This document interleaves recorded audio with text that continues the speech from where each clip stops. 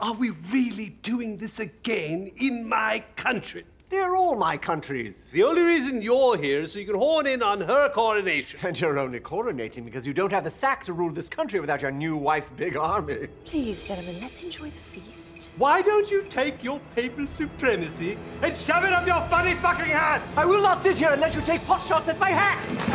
Bring it on, bitch! Uh, did you hear the one about the peanuts who were walking down the street? Stand aside, They Koosman! got assaulted!